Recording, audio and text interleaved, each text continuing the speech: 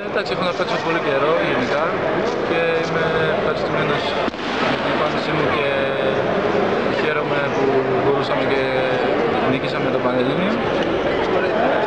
Τι να, κάνω να πω, συνεχίζουμε τη δουλειά και βλέπουμε.